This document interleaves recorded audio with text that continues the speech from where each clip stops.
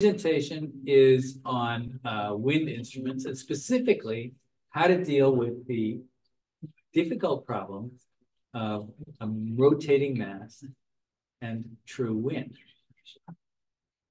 Am I right? More or less, yeah. More or less. Well, I tried to make it a little bit broader so it wouldn't be super boring for anybody. It's gonna be boring no matter what. So, Look, we have show and tell here. That's great. awesome. Okay.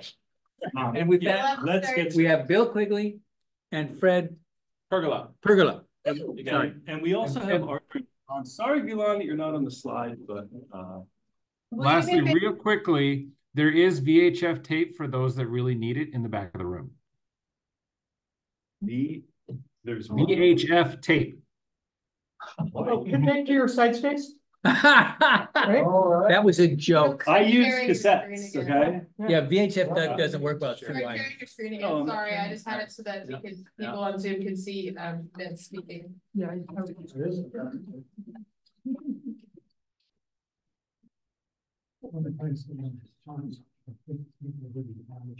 Okay, can the people online see the? You're sharing the wrong desktop.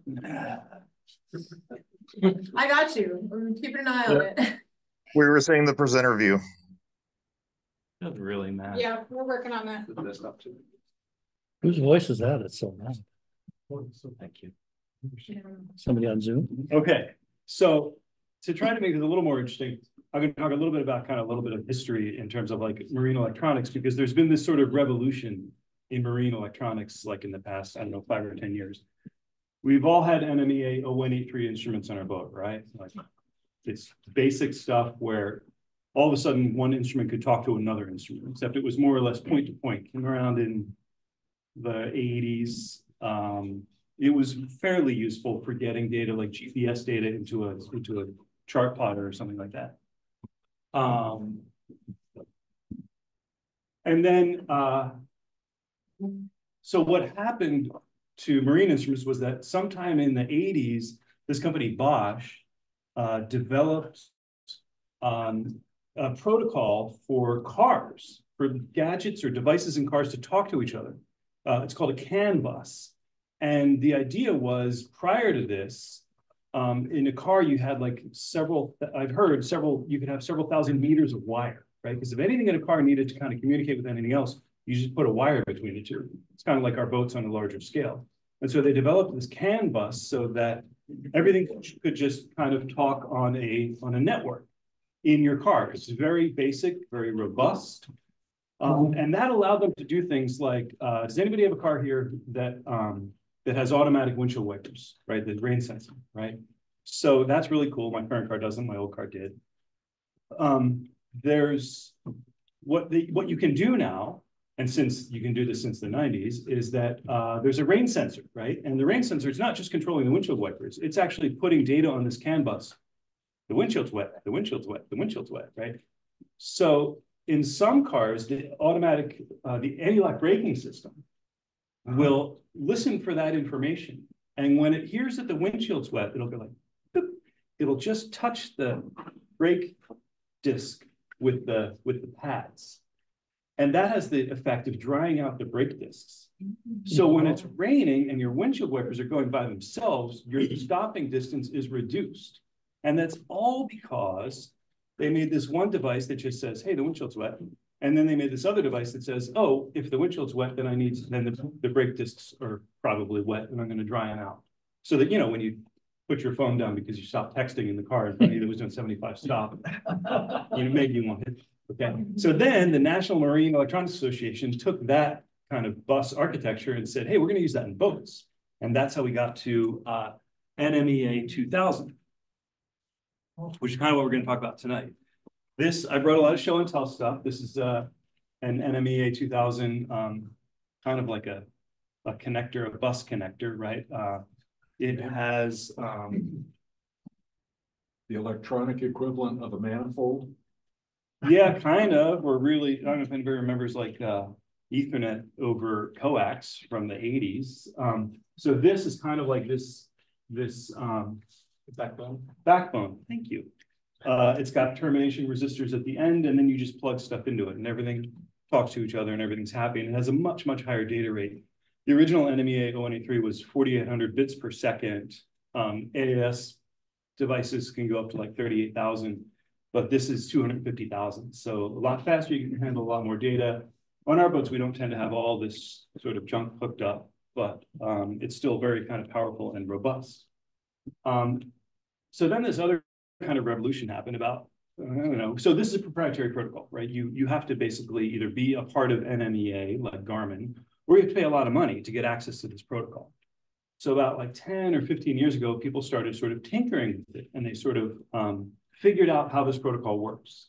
And one guy in particular, this guy named Timo Lappalainen, he's, he's a, a Finn, um, wrote a bunch of software that interprets the NMEA 2000 data and lets you do things with it.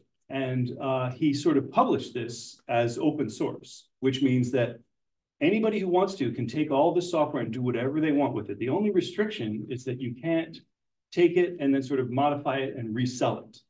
If you modify it, you have to kind of put those changes back out into what's essentially the public domain.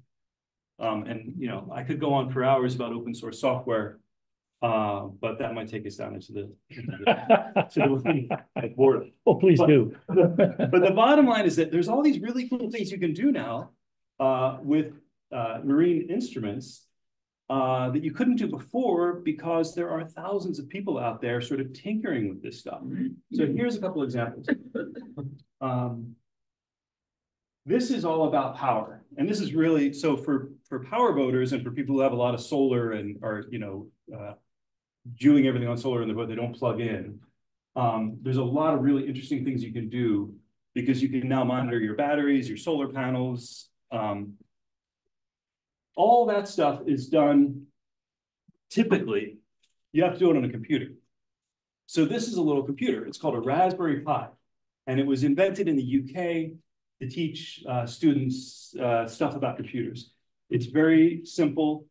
Um, it's uh, cost, this one costs about fifty dollars, and it's so powerful that all of this stuff that you can that you want to do, like chart plotting, uh, monitoring your engine, your controls, monitoring your instruments, all that stuff can be done on this tiny little computer here. This one also actually I was going to plug it in. Uh, has a little this is a GPS, right? So you can also tell where you are. Um, so this is uh, sort of a set of software called Signal K. That again, it's open source, it's free, and people are constantly developing things to to work with Signal K. Signal K is basically uh, an open source or a free mechanism for using NMEA 2000 data. So you can have all these proprietary instruments and you can now look at all the things that they're saying to each other and you can do, whatever you want with that data. Um, so here's an example. This is actually a video of, of one of my cell phones. Uh, and this is uh, just an app for Signal K. Again, it's free. It's called KIP. It lets you set up these um, sort of instrument panels, instrument clusters. So what you're looking at is uh, a wind gauge, obviously true and apparent wind, um, speed over ground and speed through water. So if you're racing, that would be kind of useful, even if you're not racing, for determining uh, if you're getting set by a current, right? And then also wind, wind information is really useful too. So this is a free app running on an old phone that's now probably worth $50. And that's doing everything that a $500 Garmin, you know, GNX20 display can do, except it took me about five minutes to set this up the way I wanted. And, if, and you can see these arrows, you have pages, right? So you can set up another page that shows you something else. And so, you know, instead of buying more displays for your boat, you can now just do this on your phone. And this is getting information from uh, software that's running on a, a device like this. Bill, Yeah. what, what's the, the progression from the, the, the CAN bus with its backbone? Yeah. To this? I mean, does this Uh, have yeah. a, Good question, Vince. So um, Vince's question, if anybody couldn't hear, because he can kind of mumble sometimes, is uh, how does that get, how does this stuff on the CAN bus get into, um, get into, get into this, right? So um, this little gadget is called a hat. Uh, it's a, it's an RS-485 CAN hat. So these terminals here will connect, actually, you can see another example here. Um, these are these are NMEA 2000 or CAN bus connectors. right? So this uh little Raspberry Pi computer, when I, I can plug this in, I can plug this into my boat's network through one of these ports. Um, and it will start listening because I have the Signal K software running on this Raspberry Pi. It starts just sucking in all this data. And then what you do with it is kind of like, kind of up to you after that. If, if you just put it into Signal K, then you get all these cool apps that show you, you know, there's chart plotters, there's uh, instrument panels and so forth. Um, so does that, does that answer that question? Sort You plug it in. You plug it in, you plug it into your boat's network. Yeah, but when you say your boat's network, what physically are we talking about? here? Uh, this. That, So I have a couple of these on my boat and they're connected to all the Garmin instruments and all the transducers. I Actually, have some diagrams of what's going on on my boat. Yeah. And we have some, some Mojo diagrams too. Uh, that'll, maybe will make that more. Okay. clear. Your old phone is plugged into the backbone with an adapter. Oh, no, uh, good, good question. This is, uh, that's getting out of our Wi-Fi. So, so this thing is on a, either it creates its own Wi-Fi network Uh-huh. Uh, or if you, typically what I do is I just create a Wi-Fi network using my phone, like a, a, a tether, in tethering, you know, hotspot mode. Right. And so everything on the boat automatically sort of jumps into that network and then they can all just talk to each other. Um, and that's interesting because, uh, I think you broke this. You broke me. I'm gonna go get my paper So here's the thing, I mean, one of my the points I'm trying to make is, if I can do, if you can fix your boat, you can do any of this stuff. There are these like blog posts online that just walk you through, like, this is how to get this stuff set up. And it's really, it's become really easy and apparent. And also because there's so many people interested in like making this stuff work. That you can ask a really stupid question and there are people who are who are gonna be out there who are gonna say like, oh, here's how you fix that. And they're also gonna be thinking like, oh, we need to change the way that documentation, you, we need to make it more simple, right? Easier. So. Actually, if you say something stupid, you get more feedback than if you say something smart. So it's better to say something wrong to get a lot of reaction, a lot of feedback. People love to correct. so. They're Okay, so um, gonna love me. What we have, or what we had, this is actually uh image from the race to Alaska. If you can, if you look at closely enough, you can see we're getting close to Bella Bella at the blazing speed of one point nine knots. Um, This also, we, this is, we were fifty-six point nine miles from Bella Bella. So, so that is standard Navionics, which of course, like everything else is now owned by Garmin. Right? And I still really like that, that application for just navigation on your boat. Um, that is a waterproof tablet that, you know, cost me like hundred and fifty bucks, and it's, I still put it, we got a little plastic screen because it rains so much in the way of Alaska. You guys are gonna be Really? wet. Yeah. Um, this is an app, uh, called Sail Timer, which isn't free, but it's close to free. It's like thirty bucks a year for a subscription. Also has really interesting information. Like on this one, you can see your, you can set up these custom charts. This one shows the variation in your heading over time. Uh, you can show like sort of variations in, in fact, here you can see in the back, this line is, uh, is your variation in your speed, right? And, and it does show you your VMG. We'll get more into that later. And this is, this is called KIP. Again, this is totally free. This is the app that I showed you running on my phone. Um, and then I'll just go through these really quickly. So this is, this is another Sail Timer. Uh, you can, you can run it on a, on an e-ink display like a, like a Kindle. And then I have a picture here. This is something that Joel and Patty just posted because all of their instruments on their boat, this is in the Panama Canal. All their instruments are, they don't have any custom instruments, right? So this is just a regular tablet. I think it's an iPad that they're using Navionics on. And then they have this thing called a Boox. It's, it was intended to be uh, an e, an e-book reader, right? It's about two hundred bucks and it shows all of their, uh, all of their data, right? So this is, these two are replacing like several thousand dollars of proprietary uh, gear. And this is, you know, Joel and Patty, they're in the Atlantic now. They just went through the Panama Canal. They've been on their boat for, for what, a year or two? Uh, so it's working for them. Um, okay, so now I just want to shift over to what's going on with our instruments. So okay, so now we're kind of starting to get into, slowly getting into the part where we talk about, uh, about mast rotation. Um, there we go. All right, if you're online, can, Yeah, you're sharing. Make sure you Okay, drag while you're that straight dealing into with your that, I have a desktop. question about the Thank you. Raspberry Pi. There you go. Yes. Nailed it. How, how, uh, water repellent are the Raspberry Pi? Oh, not at all. No. Okay, so inside and up against the ceiling where they stay dry. Yeah, in fact, you'll see a picture of my, what's in my boat, and you can get uh waterproof enclosures for them. Oh, okay, Um, and in fact, on my boat, these, so these are actually panel mount. Yeah. You can see, so you can put that through the side of the waterproof enclosure. And so it's, it's as waterproof as any other uh device on your boat. Okay, so for a long time, I didn't have any instruments. Uh, and I was happy. Uh, But I did learn, I did a few uh, races that were overnight, particularly like in the race to Alaska, our second night, um, on the, I don't know, the southeast side of Vancouver Island.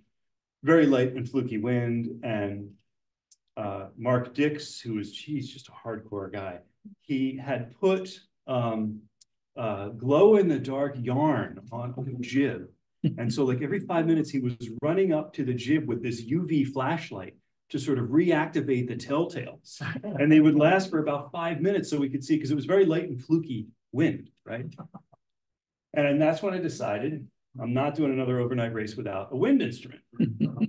So this is, you asked in the email, like, wh- why am I doing this? Partly it was, you know, I wanted, I wanted better, just better information. Partly it's because I just want to try and be a better sailor. In fact, Vince and I have had these discussions about, you know, uh, what, how do you maximize VMG, right? And on our, and on our boats, particularly like on a small trimaran, it's hard. Like his guys, you know, as Dan Hill was saying, his crew, I don't know if anybody, ev- everybody knows this, but like his crew's been sailing with each other for so long, they don't talk, right? Like Johnny, who's one of his crew, he'll go, pros.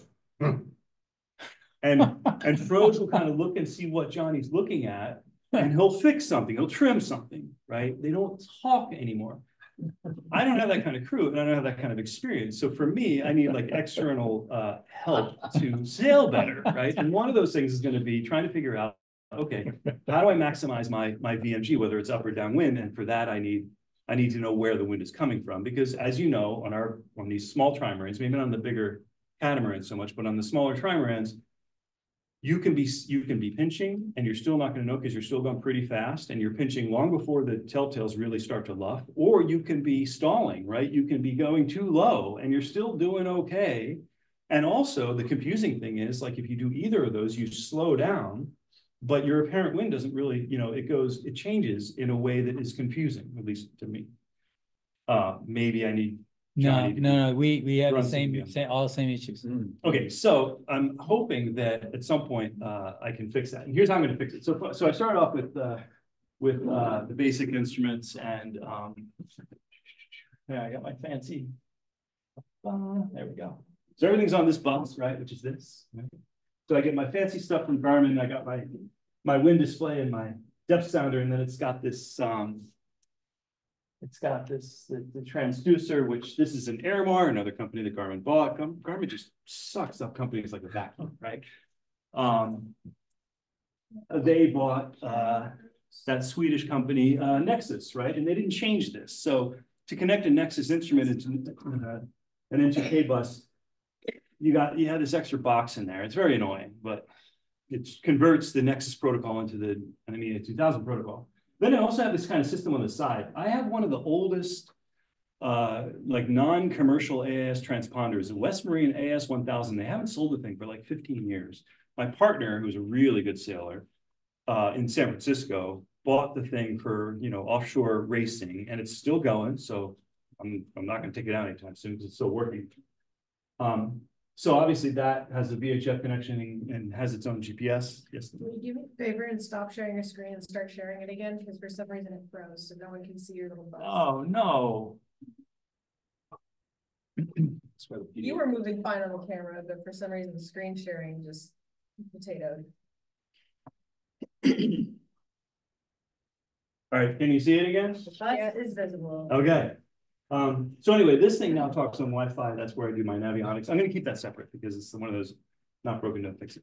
So, so, so the, stop, just, so physically is each uh, black line with an arrow, is that a Yeah. that, those are wires? Yeah, those are little, these little cables that go to each of your instruments. And, and they all connect, what is the, where's the Pi? Where's a Raspberry? Oh, that's coming, Vince. He's got layers. I got layers, yeah. Um. Right there. Leila, you were right, I should have just done. uh, So your AIS is hooked up to that old be chart plotter thing? Yeah, well, that's actually just a tablet that you saw in the Oh, other, right. in the other uh picture, and that just does Wi-Fi. It's pretty cool, it does get AIS targets. Mhm. And actually, I, yeah, you can't really see here, but um. For a target, it draws a line, which is like a vector representing its uh. Its velocity and and um, you know, direction, right? It's. Target, would Course over another ground, boat with right? AIS. Hmm? A target is another boat with AIS. Uh, yes, Okay. with either a transceiver or a transponder. Right. No, it has to actually have a transponder to- Right. to show up.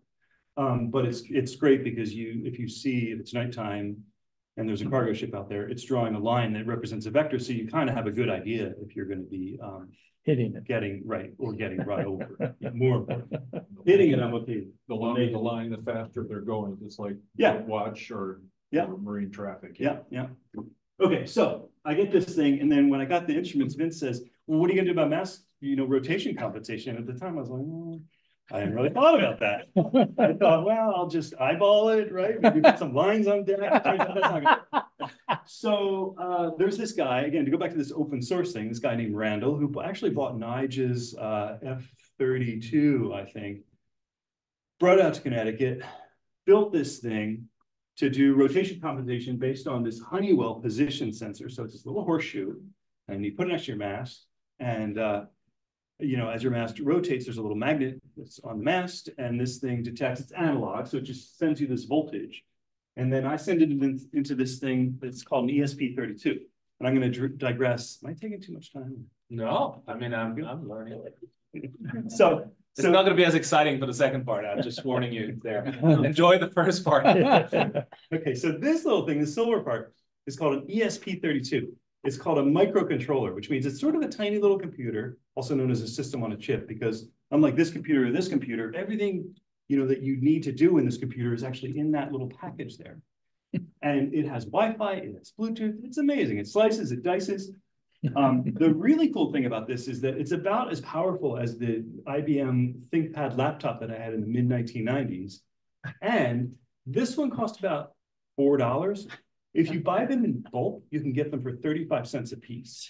So anything, I don't know if anybody here has like a smart thermostat or, or smart lights or anything in your house, all this automation stuff. It's what, when you hear Internet of Things, IoT, this is what they're talking about. They're talking about these, these little processors that are so cheap. There's a billion of these things out there in the world right now. They are in light bulbs. Are there, um, are they just one chip? Yeah, that's, it's called, yeah, it's called, a sometimes it's called a system on a chip or SoC. Because everything, now this is a development board, so they, they put like a USB interface to make it easy to program and stuff, but like everything is, is right in there. It's got flash, it's got, it's got RAM. Uh, this is the Wi-Fi antenna up here. So, so I, uh, oh, it's also got these analog to digital, uh, conversion, a bunch of analog to digital conversion channels. So I take this, uh, analog voltage from the rotation sensor. This thing converts it to digital. It then uses those libraries that I was talking about by this guy Timo, the Finn of the crazy Finnish guy who's still working on this stuff uh, tirelessly. He's like, he's a dynamo. Um, and they then take that information. Oh, they also take the, the original uh, wind information that's on the NMEA 2000 bus. They correct it for rotation and then they spit it back out on the bus. And the thing is that doesn't work. because a Garmin instrument will sort of prefer to talk to this thing. And I've been discussing this with Garmin since August. And we're still kind of narrowing in on you should I should be able to say, don't listen to that, listen to that. Right? There's a way in the interface that you can change that. It just doesn't work. And I suspect they're not going to change it for me. So, Can you separate the buses? well, that's a great, who said that? That's a great idea. His fault. Um, so what we have now is, I got in my little box on the boat, I got two of these. Now, this is okay. These things run at fifty milliamps when they're actually kind of computing, right? And for this stuff, they're doing nothing. They're just, they're almost literally sleeping. Computers sleep much of the time. These are sleeping most of the time. Uh, in fact, a lot of applications for this thing, they never, they never plug it in. Like they have a little solar panel and a, a little battery and they just kind of last forever as long as there's any sun. Um, but of course I have twelve volts, so I have plenty of power. But when I'm looking at these things, I'm always thinking like in terms of like, okay, if I was gonna do race velocity, someday I might. Um, we, you know, how much power do you need? And so I didn't actually have any of these instruments before. So I've actually done a lot of kind of power budgeting, right? But that's my frame of reference is not, I'm on a power boat, I'm gonna turn the motor on and just charge the batteries back up. My frame of reference is I have a single hundred watt solar panel. It's gonna be completely overcast and rainy for five days. You know, how many amp hours do I need? And like, what can I run to kind of keep the boat going? Like, what's the minimum? And of course, these instruments are actually optional, right? At some point, you can shut all this stuff down and, and just use that, right? Or use paper charts, but that's kind of where I'm coming from in terms of like how much power, you know, I want the boat, right, to be, to be using. So this thing using fifty milliamps to do what it does is kind of insane. Anyway, so what I have right now is, is this system where, yeah, the, the, um, wind data comes into one, it talks to the other, so it corrects it, sends that to the other, and the other spits it out, and the Garmin can't help but Tell. listen, right, the Garmin doesn't know that this guy exists, so it's a real hack. But It's hilarious. So, so, so, so, now, can you just, for the slower of us, can you trace each leg from the wind instrument? Yeah, sure.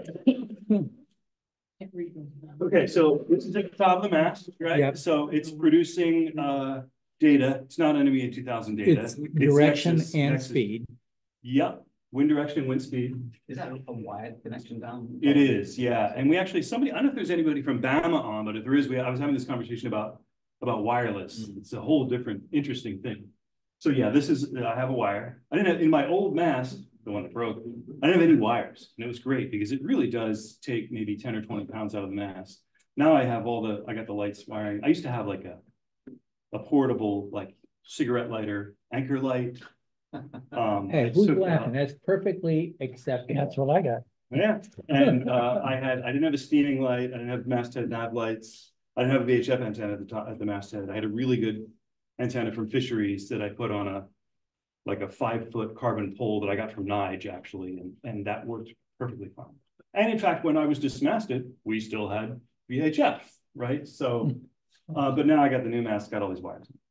Um, so yes, this is a wire connection. Then this little guy translates the old Nexus stuff to NMEA 2000 and spits it out. So the, the thing at the top is generating 180, 183. No. No, it's actually, it's Nexus data. I thought about like interpreting that and I went down that path, Vince. It was not, it was not good. It was not a good place to be. Um, so no, this, this talks Nexus, it's a protocol called FDX. Okay, so The- the- proprietary thing. This thing is sort of Garmin's interpretation of the old Nexus race software running on, like, when you bought Nexus, you would spend like thirty thousand dollars and you would actually get literally a computer that would let you connect all these instruments in. And then at some point they said like, oh, we gotta deal with two thousand, so they put that interface on there. Garmin kind of shrank all that down. So this, this is another microcontroller. It's not an ESP thirty-two, it's an older one. So this reads this data in FDX protocol and then it changes it into NMEA two thousand protocol. Okay. Spits it out on this bus. That guy. Uh, goes into this thing called this uh, Sailor Hat ESP thirty-two, which essentially is, is one of these, right? Yeah. It's a special one because it's, it's got the interface, it runs in twelve volts and all this stuff. Um, that then takes in this variable voltage between zero and twelve volts from this sensor, depending on where it is, you know, on the mast. Uh, it it converts that to a digital, a number, Yeah. essentially. Converts that number to degrees. Yeah. Corrects. this Did you have to program the, the hat thing? Yes. But again, this was, that all came from this guy Randall, Oh. who did this great thing where he wrote all this software. And then he said, here you go. It's on this, there's a website called GitHub where you Oh, put yeah. all of this open source software in. Like if you create something and you want other, you just want to share it. Um, and it's, you know, you think about like Microsoft, like They don't do that, right? Uh, Yes, they do. oh, you're right, you're right. And, and they own GitHub. Well, okay, but I'm thinking about things like, uh, Word, okay, so you're not gonna get source code for Word or Windows ten. But you're right, no, you're right, that's a fair point, they do a lot of support for open source, but it's a relatively narrow. Okay, but I mean. All right, you guys, computer geekos, you know. AWS, Calm down. but AWS owns, AWS owns FreeRTOS, so. you know. Um, so yes, they do, they have come around to that, you're still not gonna get the source code for Windows eleven. Twenty-five years. Well, when they release the source code for Windows eleven, then I'll be, I'll be sold on that. Yeah. But, okay, bad example. Um, most traditional software companies are not out there sort of releasing their code, but there's all these individuals and even small companies like, um, what's the solar charge controller company? Uh, We know, We all have- Victron. Reddish, Oh, oh. no, not Reddish, no, uh, Victron? Victron, yes. yeah. They're really, they have built interfaces into, directly into Signal K. They're great. They've really embraced this, right? So anyway, um. I take this data, I, I correct it, I send it to another ESP thirty-two because the whole, it's a whole sort of Garmin thing. Um, it sends it out on another, basically, it's an- so I have two of these on my boat, right? And they're not connected to each other, except for through that. What is the radio doing here for us? Well, that was, we were gonna get to that. Because the radio uh is a DSC VHF and it it has, so it has a GPS on it. And I thought, oh, it might be kind of handy to have the GPS info from there. And so that is now connected to this guy you with an NMEA 0183 connection. And then another thing that this guy does is he takes that data and he spits it out in the NMEA two thousand uh protocol. So Okay. so my Garmin now shows my latitude and longitude. So it's kind of a backup to this whole thing. If this whole thing breaks, I still know where I am because I have another GPS. You know, when you're sailing, you have like five GPSs on your boat, Right. right? You, you might have an AIS. You probably have one in your radio and then you got like one in your phone and who knows what. So that's just redundancy. And then Vince, you asked, where's the Pi coming in? So that, this guy is my Raspberry Pi and he just sits on that network too and, um, and collects all this data because, again, I was talking to Vince about this a while ago. Uh, I'm recording a lot of data, but what I really want is, uh, apparent wind speed, apparent wind angle, speed through the water, and, you know, speed through the ground is kind of nice, but them, from those first three data points, the more of that I collect, I'm starting to develop polars for my boat, which my boat is kind of a custom one-off boat, right? Nobody's gonna do polars. And also, if you look at a polar chart, it's like 5, 10, 15 knots, right? That's what it gives you. And then you're supposed to sort of extrapolate. Eventually, uh, eventually, it's gonna take a long time, I will have a complete set of polars for any wind direction or speed, which means at any time, my boat can tell me you're pinching or you're sailing too low, you know, or you're just kind of being a moron. And as I said to Vince, I'm gonna do a very simple app for the phone. It's just gonna be a big green arrow or big green dot. And if the green dot, right, turns into a yellow arrow, that means, oh, better sail that way a little bit. If it turns into a big red arrow, hey, I really have to sail, right? Because that's how it is. John? Aren't you gonna need speed over ground in order to get to a wind? No, that's an excellent, there's a lot of, uh, I won't say debate, but a lot of discussion about this because speed over ground is almost irrelevant for, for, uh, for, um, VMG. Because if you're, imagine if you're sailing upwind, uh, and there's like a one knot current at ninety degrees, right, a current. So that is going to impact your sort of upwind vector, which means that when you're on opposite tacks, basically it means if the is if you're sailing north and there's a uh, current setting west, then your port tack is going to be slower than your starboard tack, kind of no matter what you do, relative to the ground. So when That's course over ground, right? uh, yes, but your course over ground and your, and your speed over ground are kind of, they're, they're kind of intertwined, right? You can't kind of separate the two. I mean, the bottom line is that Well, of course. it's a thing. if you Google this, you'll spend hours going down the, the same rat hole I did, and I encourage you to do that. But ultimately, you, if you want to, if you want to calculate VMG, which is really what we're after here, right? Like, am I going faster, going higher, or am I going, am I getting, am I gonna get there faster, going a little bit higher, or am I gonna get there faster, going a little bit lower, right? That's all we care about. That is only relative to uh, where you're, how you're going through the water in terms of maximizing your boat's speed through the water. The buoy that you're going through. Is on land, yes, attached to the ground. right, and that's why. B and G is based on CETO. Ah, yes, right. Oh, yeah, yeah. So you can, you, yes, you calculate your VMG two A mark based on your speed over ground. But that can be really confusing because there are always currents. Right? So if you want to sort of simplify it and say like, all right, I'm in a race, I'm sailing upwind. It doesn't really matter right now where the mark is, right? Because I'm not that close to it. Then I need to maximize my VMG through the water until I get to like a lay line or something where I have to decide, okay, you know, which tack is more efficient than the other tack. It's, I, I, I see, I But can You're see, always wanting to, you're, No, I get it. you're wanting to the buoy. that No, you're- if you, if you're off to one side. The current Twenty miles influence away. VMG, Yeah. it's one of the vector. Yeah, the current influences that, but you wanna know the, the VMG to the mark. Right, but the problem is That's that what you're maximizing. It is, but if you are trying to sail based on VMG to, the VMG to the mark over ground, then you're, you're not looking at actually how fast your boat is going. What I want to do is figure out, okay, where do I have to point to get my boat to go faster, either upwind or downwind? For me, that's the first consideration. Once I've got the boat going as fast as I can make it go, then I might look at another display that says, hey, you're going fast, but you kind of need to be on the other tack, right? That is valid, but for VMG upwind, purely upwind, you're, you gotta be looking at, uh, speed through the water. You know, it's true, because at some points in the fact, you're, you're going closer or farther away from the Yeah, mark. Well, and So other the than going, realities of tacking. other than going straight up to the mark, every time you go off to one side, your VMG to the mark is worse than, than on the other tack. So it's kind of, you know. you Right, 'cause it- you miss right, the point Completely. Yeah, yeah, because the mark is never, if it Yeah. was dead upwind, that'd be great.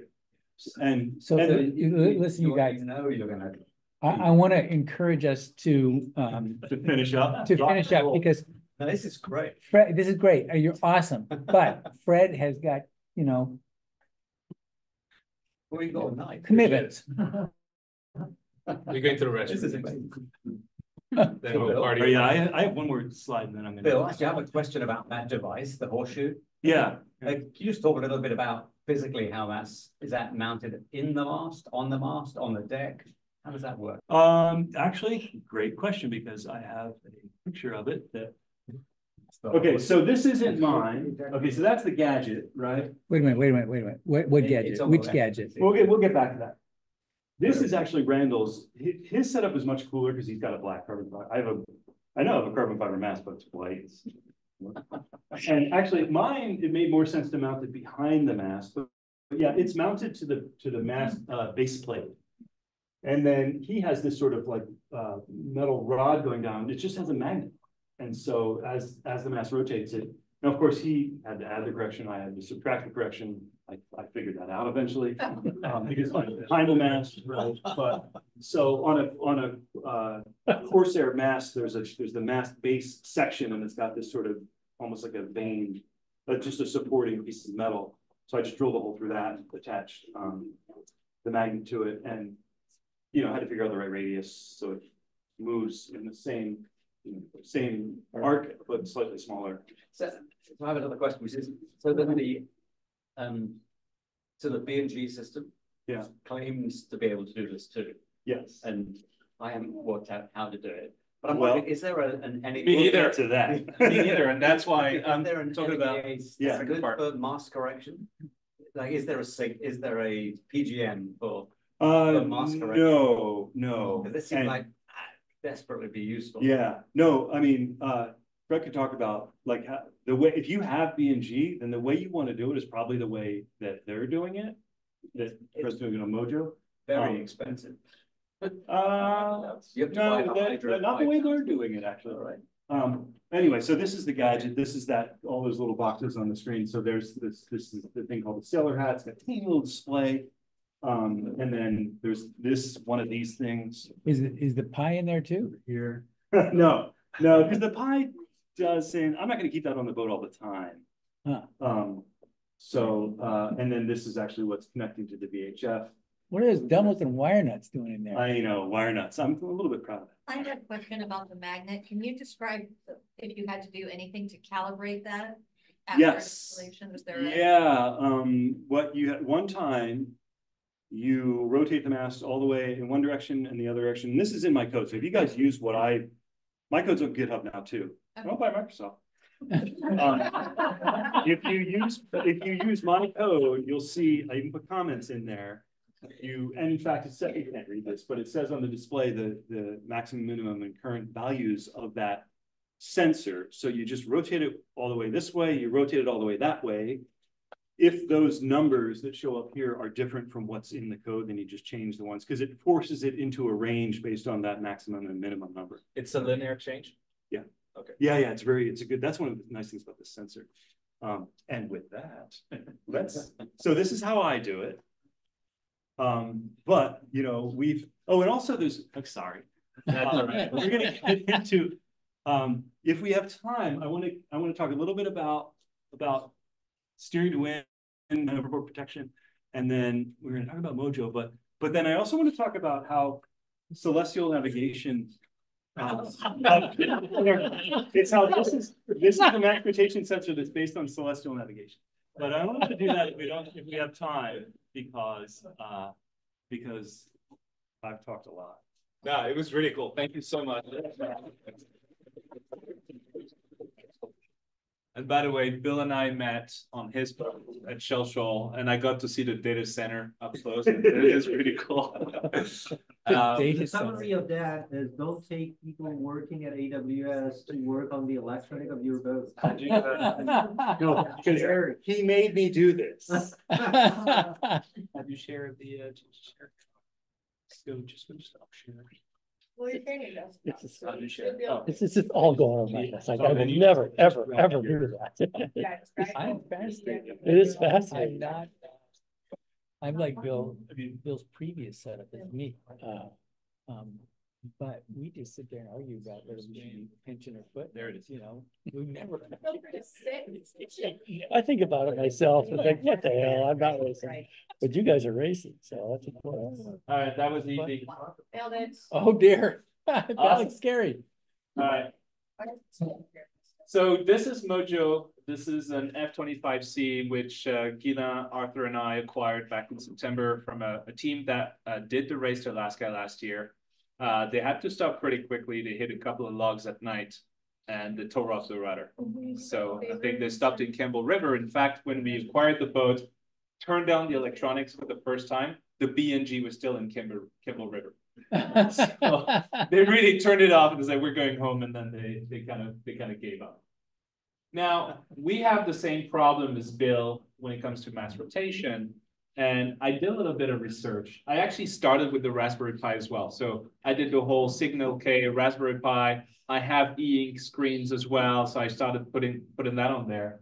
But I was concerned about power consumption. I mean, you're running Linux on a computer for the sake of having a web server. A web server also consumes quite a bit of power. And I was concerned about, hey, is it going to reboot? Is it going to stop? It's also broadcasting the Wi-Fi signal. And when testing it, I just wasn't super happy with the results. Hmm. So I kind of set it aside and I started researching a better computer for the boat. So I'm going to tell you then about what I did, but before I do that, I just want to have a little disclaimer. This is the current state of Mojo. So these are the electronics, right? Is that a a little black box? cardboard? It- it's a little cardboard, so we're just increasing the size of the panel, and then Mojo right now is sitting on four stands courtesy of the uh, Northwest Multihull Association. There's no mast, there's nothing, we tore off everything and it's entirely sanded, and this is Gillen's house, so the, the boat's in Bellevue right now. So everything I'm gonna tell you about works on paper, works in my basement where I currently have all the electronics, but we haven't tested it in real life, and we're gonna start doing that in April. So take everything with a a pinch of salt. Uh, so Mojo, if you don't know, Farrier F twenty-five C from 96, 27 foot long. Uh, it's a very light boat, eighteen hundred pounds, and it's hull number six. So it was uh, manufactured by professionals because before it became a kit after I think hull number ten to twelve. All right, back in the room, you have Gina and Arthur there. And uh, we're doing Race to Alaska, and so those three pictures are on our website for Race to Alaska, and we're in our uh, the, the file, our application file. What's my inspiration for the setup? As I told you, I started on my own thinking, okay, I'm going to do Raspberry Pi, Signal K is great, uh, and then you can overlay the charts. But then I found uh, this post, um, I can't remember the forum, it's uh, one of the Google forums, uh, by Don Vinci, who explains his current setup. And what I like about the post is that one, he said it, it works. Second, it's cheap. And the entire setup, I mean, there's a Garmin three axis, I think it's 150 bucks, plus there's a ShipModul, which is $400. So we're talking $550 tops uh, to have mast rotation adjustments. And very easy to set up. The setup is really three components. I'll show you the diagram in a minute, but what was appealing to me is that it uses the BNG, um, the ZG 100 compass. It's a compass, uh, it's a GPS that has compass, and it has roll and pitch as well. So it's also a three axis. Uh, sends that to the N2K bus, uh, and is really good quality. What's a N N2K bus as opposed to this other stuff?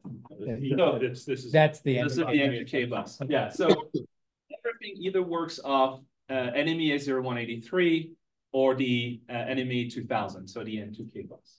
So this is our current setup on Mojo. And the, the parts I've highlighted are the one I'm going to be, the ones I'm going to be talking about.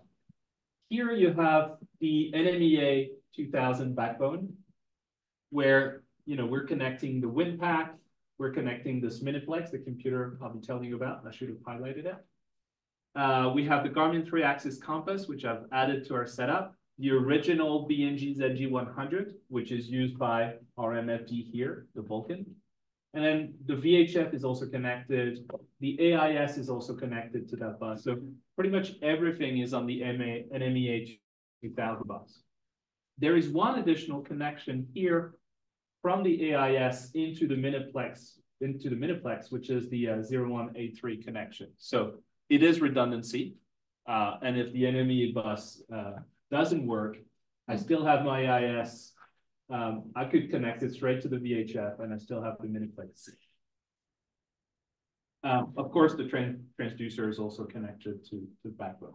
Now, there's a little part here that I want to talk about. We've been talking about apps and I've been writing code, which is on GitHub, but not publicly accessible.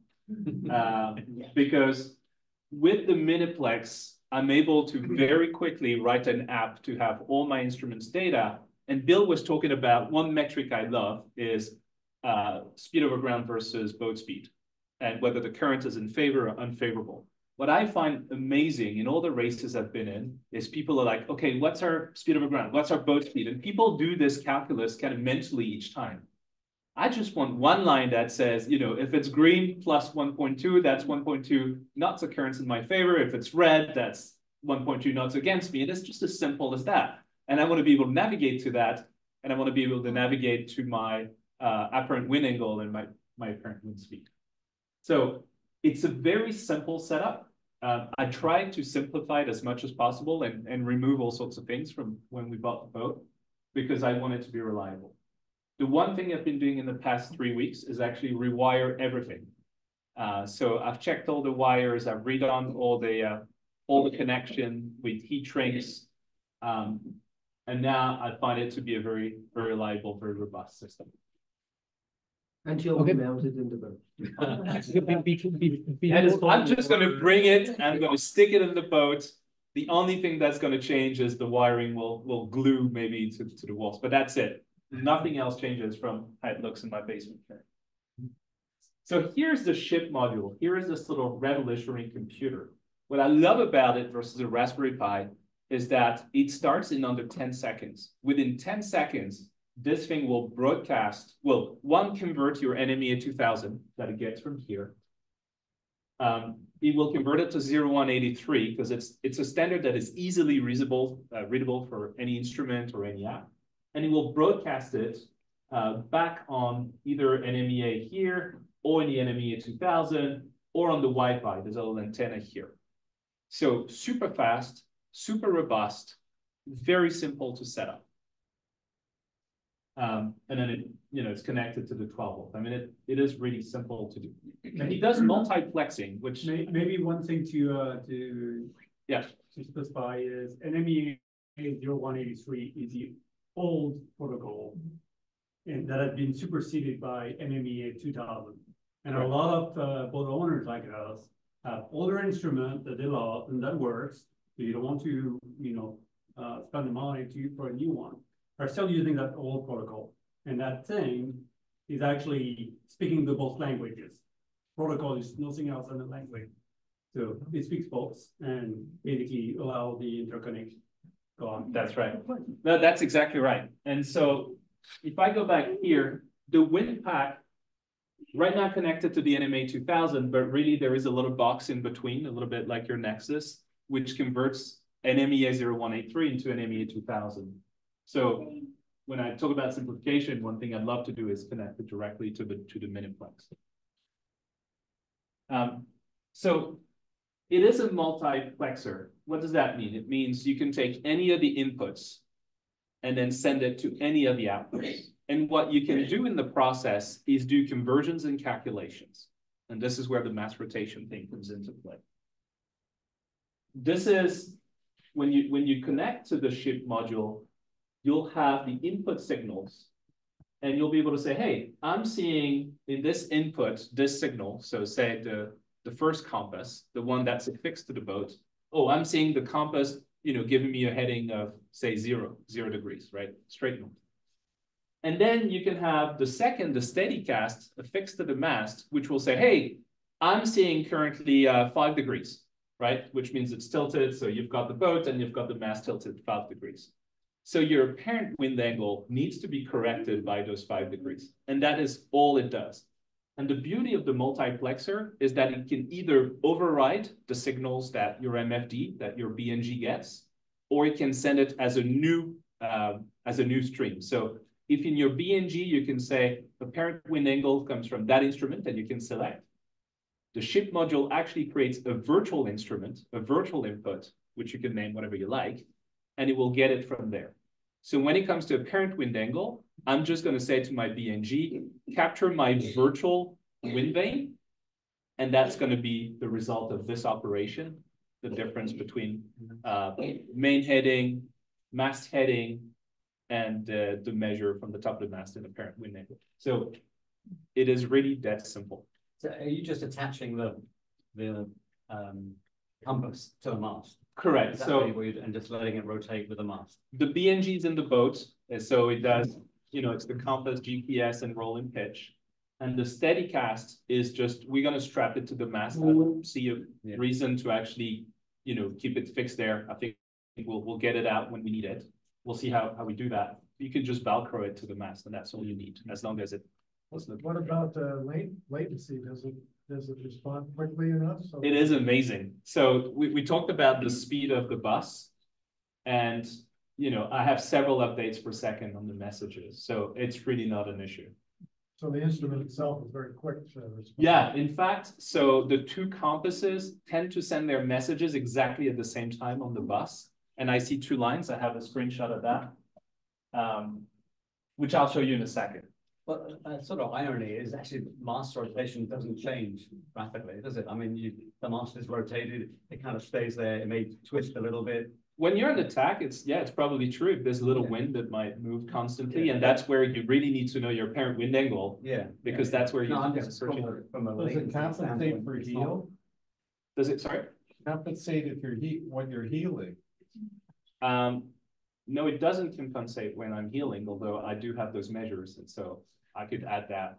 You know what, though? That The, effect. the, the compass is off. Yeah, that's one of the things I discovered when I was trying. You put one on the Because top both- and one on the Both bottom. BNG and environment are, are they. Ah, they are. absolutely- Okay, well, that, I'll be able to test for that. That's Well, okay. that- I'd argue you don't need to compensate because all of your compasses are moving with the boat. So they're all Well, wrong by the same Yeah, amount. but you still want the BNG to be, The mast one of them to be accurate, right? The mast isn't, so, uh, you know, say, say you have a roll of, say, five degrees or, yeah.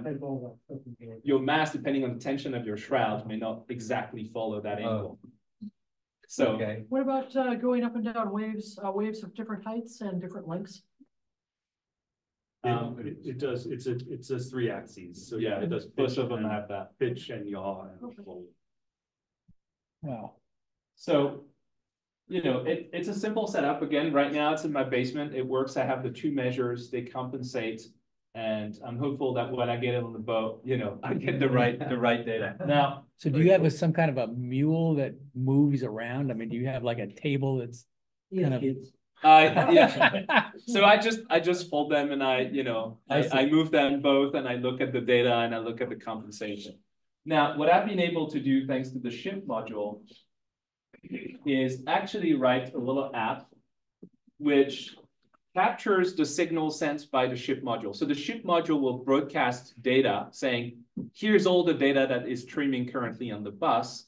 It does it in the MA, NMEA 0183 protocol. So it's, it's really strings of text and it's really easy to parse. And it does it over the UDP protocol, which means you don't need a one-for-one connection. The, the ShipModul computer will just broadcast it out in the air. It doesn't care whether it's received or not. It just broadcasts all that data. The benefit of that is that it's like a VHF, right? When you're pressing the button, everybody can hear. Here it's the same. You could have 100, 200 users listening to that data and seeing those instruments. So my goal is for all of us on the boat to either have, you know, an iPhone strapped to their forearm or an Apple Watch that will have all this data. So you can see I've created a little app here and, you know, it's got right now speed over ground, speed over water, apparent wind angle, that's the corrected one, true wind speed and depth. And then for now, I'm just watching the measures from the different compasses. Uh, by the way, the AIS, yeah, also has its own metrics. It's got two GPSs. Um, so I can use that as, as redundancy, but it's really gonna be, the, the apparent wind angle is gonna be corrected for the difference between those two instruments. And so it's, it took me, I don't know, not, not a lot of hours to put that together, maybe four. Uh, and it, it works really well and it uses your phone. And so if you lose your MFD, if you lose everything, you still have on your phone, you have the Navionics and you can still race because you have all the performance metrics as well. Can you go back to the, the compass that is attached to the mast? I Yeah, Lost track of that, the steady, can you tell me about that again? So the Steadycast is a three-axis compass. So it, it's, it's a little block like, like this. I could have, I could Yeah. have brought it. It's a, a square, square box. Attach it to the mast. It's got an arrow on it, Uh-huh, which uh, basically says, you know, point in a direction forward. And it will give us, it will give us a compass measurement. It, it's three axis, so it's, Yeah, yeah. it also has the pitch and roll. Uh, and it will, it will give us its angle. And so what matters is the angle that this compass sees relative to the, the angle that the, the boat compass sees. right. And the difference is what Is- makes is the the thing. So adjustment. compared to Bill's setup, do you guys have a sense of, you know, how accurate these different? Yeah, that's a good question. From, from forums, uh, what I've read is my setup has an error margin of two to three degrees, whereas Bill's setup is more accurate, but Bill's setup is al- al- also more expensive, I believe, right? The sensor is, yeah. Yeah, the set, it's four hundred, the sensor itself? What is it? Well, yeah, four or five hundred dollars just for that sensor. Just for the horseshoe. computer that I'm using was forty dollars, the, the ESP thirty-two. When you say that the sensor, That remind me, Honeywell, that little horseshoe. horseshoe. Honeywell. oh, the horse shell deal. Because So it's that's used for twice rudders. as much as the, uh, as the, uh, Garmin. I got it. So, so which is the more sort of robust? I, I, I would worry about the horseshoe that you get a line caught in there or there's some, Yeah, I It's thought about that a lot, like where it's, where I put Yeah. it and, and the relationship, I mean, it's really directly underneath the back of the mast. And so I'm really not concerned about it getting, it's also a really sturdy little thing. I think the Steadycast is probably just as sturdy and, you know, after we, we were talking about this on my boat and I, I actually went down this path of trying to build this, build that on my own. But, um, it's, it's harder than I think. And so I think there's a Garmin, this, the, first of all, the B and G compass is super accurate. It's worth whatever thousands of dollars somebody pays for it. The Garmin is only hundred fifty or two hundred dollars. It's actually really, it, it's one of the only Garmin things that seems like it's a really good value. And I compared it against the, the B and G one and, and they're pretty, they're pretty much the same. I mean, again, in my basement, but they, they're spitting out the same values, given the same angle, and they're reacting at the same, So, same, so same pace. back to kind of an earlier point. You're interested in the difference. Correct. Does a pitch and roll matter at all? I mean, you're only looking for the difference. So if you ignore those other aspects, which seems, would seem to me to. Assuming everything's vertical, that's true. Uh, again, the, the mast itself will not only pivot like this horizontally, but depending on shroud tension, it will pivot like this. Yeah, So- By, by enough degrees to make that, I mean, like you talked about two or three degrees error. Do you have two or three degrees? much? I'm not, I'm not worried about that for now. I'm just, Yeah. I'm just, Yeah, I I'm just thinking of correcting for the horizontal. Yeah. And Well- see, see what we're getting. If I can interrupt, I started making a, a digital compass out of this. This is a three axis magnetometer. And it is striking how, if it's sitting on your desk like this, it gives you one reading for which, which way is north. If you do that, it's a totally different reading. The, the Z axis, axis has a big impact on what this thing reports. Huh. So you're right, if you're just looking at the, the difference between the two, and they're kind of in the same X, Y, and Z plane, right? But, but they're not, right? If one's in the back of the boat and one's at the mast, then they're, Huh. they're not in the same place on the wave, right? And so I was shocked at how much of a difference that made. I can Plus- record that data anyway, so we'll, we'll record that data and see if it matters. Yeah, yeah, no, very interesting. We'll do this again in a year. Or if it's a metal mast, does that, and you have a compass right next to a metal mast?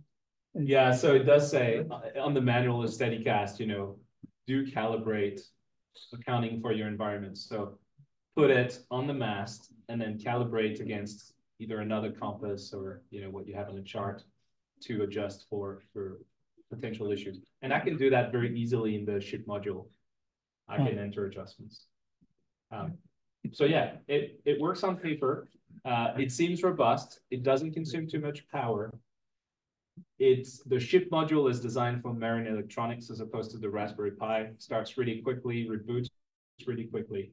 We'll have to see how long it lasts and uh, how good the results are, but I'm, you know, very hopeful that for, you know, five hundred and fifty bucks, we, we get ourselves a good setup. Fantastic. Very cool. Wow, cool. This, Do either of you have any Science fiction. experience with uh Tacktick wireless instruments? I had a wireless instrument that wasn't a Tacktick. It was uh like a kind of a Kickstarter company in Nova Scotia that did this um wireless wind, you know, wind sensor, solar powered and and it never, it didn't really work for me, mo- mainly because it wasn't really waterproof. Um, and with with wireless instruments, I think the problem is that you um, first of all, anything wireless consumes a lot more power. And um, because of that, they tend to restrict the range. So like for the Garmin gWind wireless, in fact, one of the guys at, at BAMA who I was talking to, uh, it has a limit of fifty feet and his mast is more than fifty, a little more than fifty feet, right? So he just can't use the wireless. And so, and that was my experience too. Like you get the, um, you know, this, this was connected to my phone. It was an app on the phone. You get it just a few more feet away and it just doesn't, it's not getting any data. And you also have the problem with latency, because like the time it takes for the data to travel, right, is way higher than through the wire for most of the protocols. Uh-huh. So you uh-huh. also enter timing issues, because the mm. data that you get is data from the past, But it's traveling at the speed of light. no?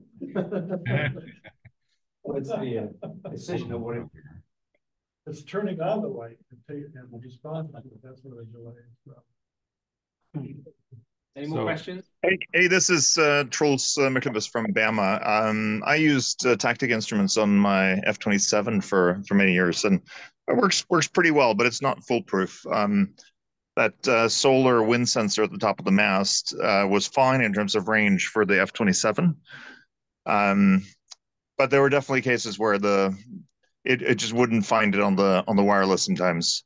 Um, so you couldn't sort of hundred percent count that it would always be there.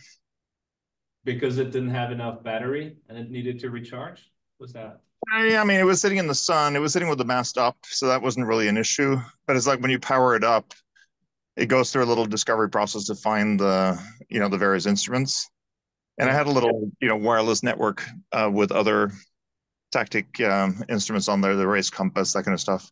I really like the race compass, by the way. But um, um, but the but the wind sensor, there would definitely be times when it would just it just wouldn't come up when I far, powered up the system, or you know I might be out in a race and then suddenly there was no wind signal. Um, so it's it's not hundred percent. I've I've had the uh, the Tacktick system on our boat uh, F thirty one, and uh, with the wireless wind sensor at the top of the mast and the the rotation sensor at the bottom of the mast. Um, and the only time that we've had issues with our wind sensor is when water got into it, and then you got corrosion, and then the whole thing just went to, went to crap. So they had to, had to replace the the innards on that once, but um, uh, the seal was bad from manufacturer, so I've got a new seal anyways, fix that problem.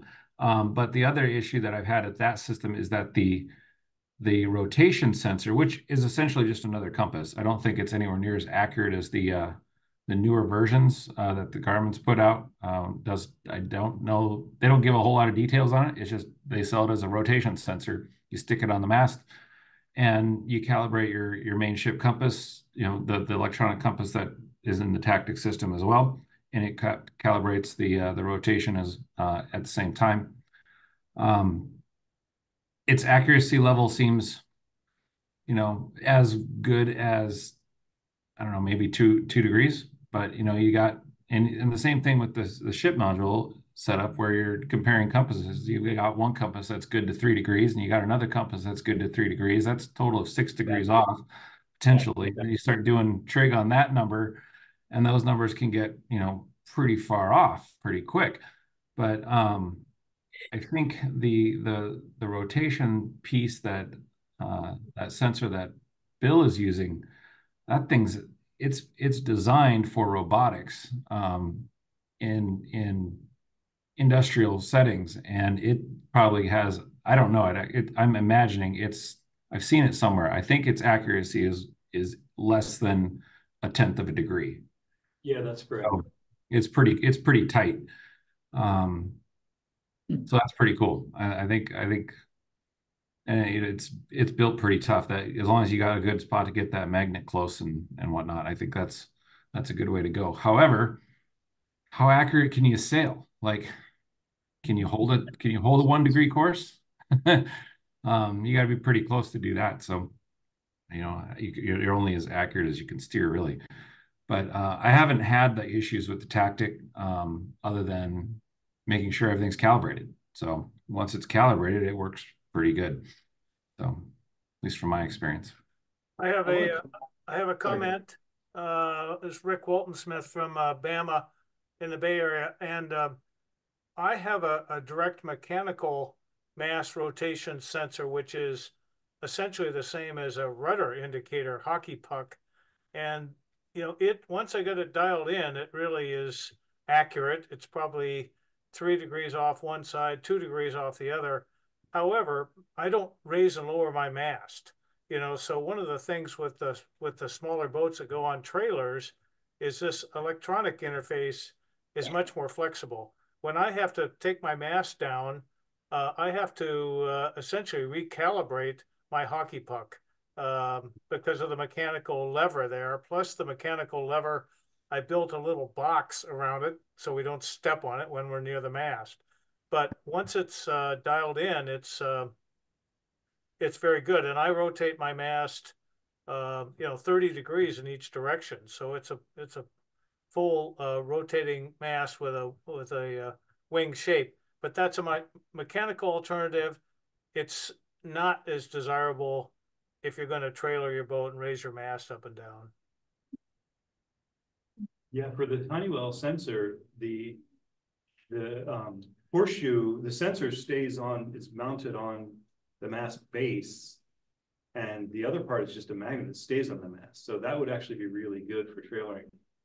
The, um, the, the co- dual compass system, you have to unplug it, but you, so you'd want like a quick. take the quick Velcro or off, Something, yeah. you know. Yeah, yeah. so Bill, how, how does your system, I mean, do you have the same worry that uh, was being talked about of, of- of the change in mast angle, mast rake or mast cant? No, because, That um, Would throw out your, the- your magnet kind of interface. Yeah, my mast doesn't, doesn't move around. I mean, the, the amount that the mast kind of moves around is, is way less than I'll ever, it's, I'm not that good a sailor.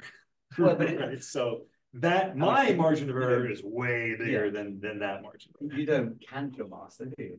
You, you- you're just talking about some prop. No, exactly, exactly. I'm just talking about the shroud, so, so.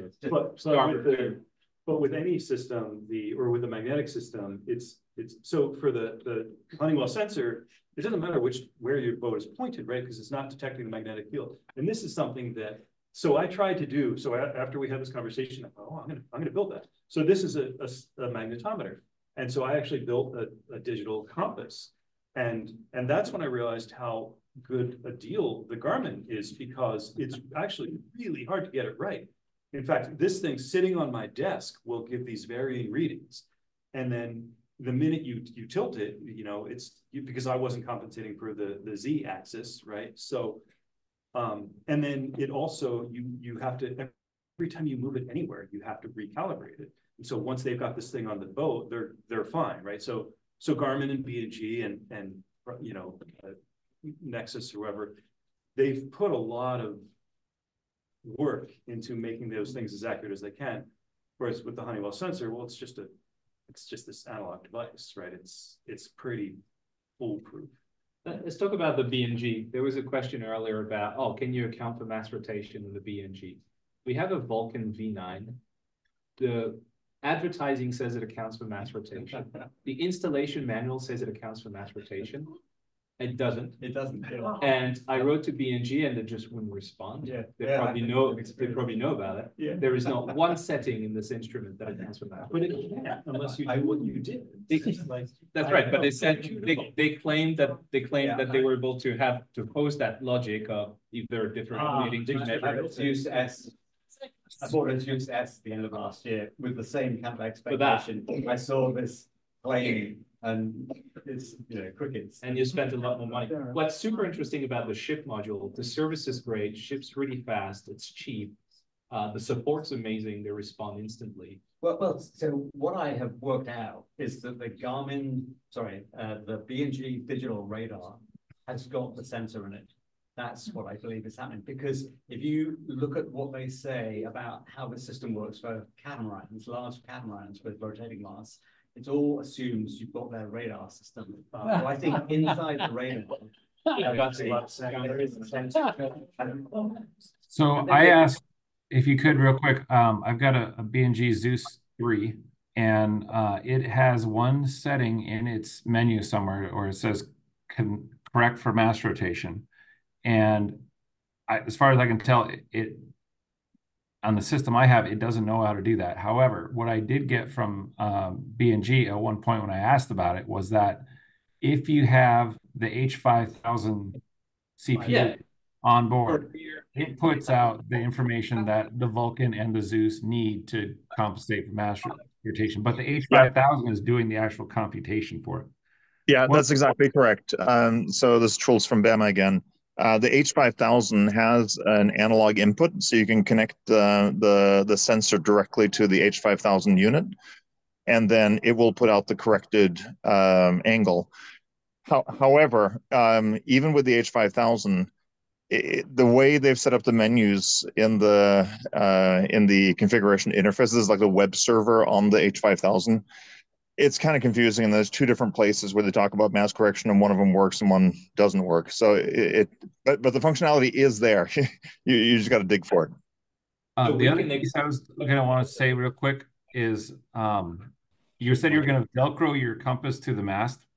Um, I've tried that. The, uh, the, the Raymarine piece had a, a way to Velcro it to the mast, mount it, screw it in, find a way to, I, I, it, I've found a way to put it in my, the, the sailed groove on the back of the mast, and that works perfect. The Velcro, it moves just enough. It's, it, it's not, don't do it. It's not accurate. You lose all your accuracy with that. Got it, okay. Good feedback. Maybe we'll spray it in. We'll ask you not to uh build a little bracket for it.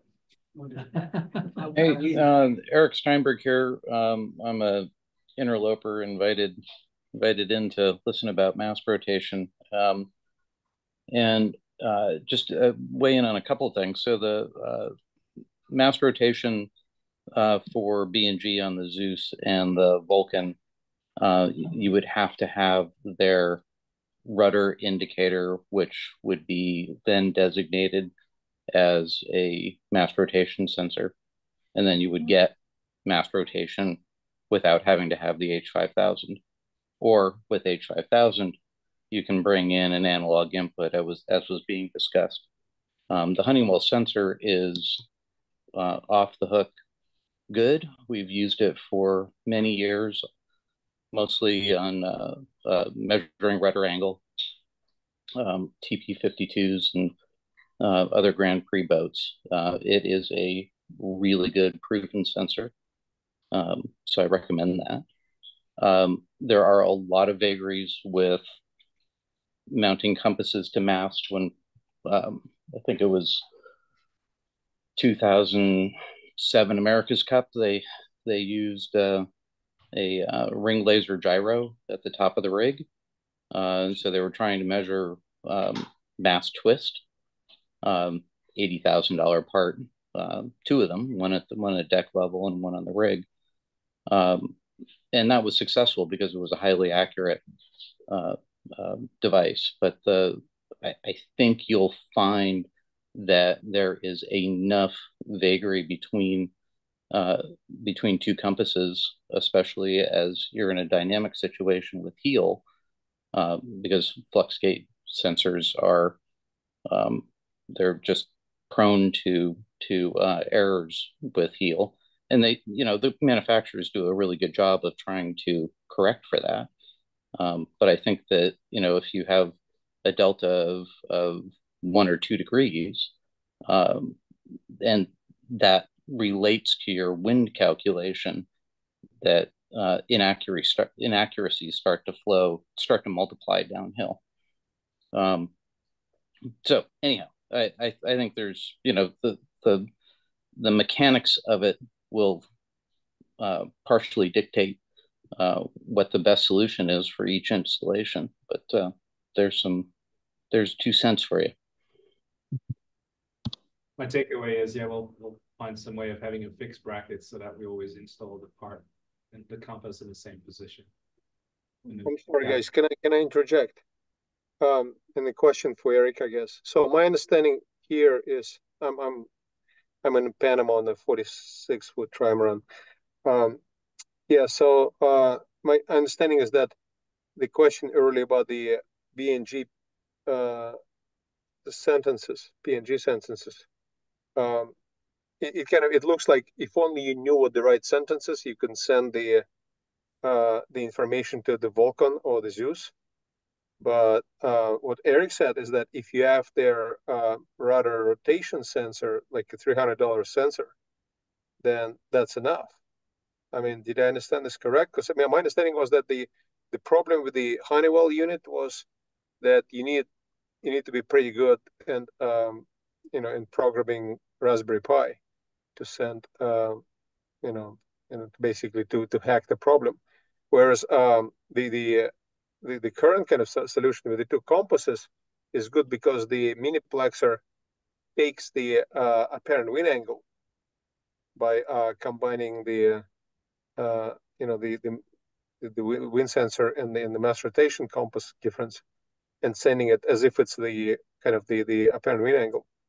But it sounds what eric said is that uh, you, you, can go you can go straight to vulcan with the uh, if you have the B&G brand uh, rudder rotation unit. Is that, is that right? It, it sounds like a three hundred dollar solution uh, to this problem. Yeah, but it's it's it's me- but mechanically it's not it's it's not as clean as what the the two solutions that were presented tonight. The Honeywell sensor is is just you know awesomely simple once it's mounted and uh, it's it's repeatable um, and is super accurate. I, I think the the prospect of having a, a microcontroller that listens to the Honeywell and then outputs a N2K uh, PGN um, is I, I think that's that's beautiful. I, I, I would I would love to have that. Um, no, no, but that I, B&G doesn't tell you what that PGN code is, right? That's mean, right. That's right. And that's the that's the the yeah. There's the secret sauce there, and and it's an ongoing problem. Um, so NMEA 2000 is is published and costs ten thousand dollars to get a, a window into, and then uh, the standard also allows for proprietary sentences. Um, so you know we do, we just don't stand much of a chance with that. Me, the hardware guy, doesn't stand a chance. You, the software guys, might have a much better chance.